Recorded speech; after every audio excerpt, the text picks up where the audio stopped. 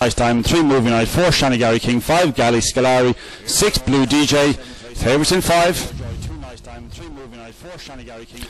They're racing in the seven and the favourite takes a flyer. as Galley Scolari leading from two. Nice Diamond is in second place, six showing, or four showing pace up into Ben, but number five, Galley Scolari is clear now, he's extending the advantage about six or seven lengths clear from two. Nice Diamond showing a bit of pace in behind, but it's all about the one in front, Galley Scolari the favourite, it's going to be trapped line for Galley Scolari, 5-2-1 in race number seven.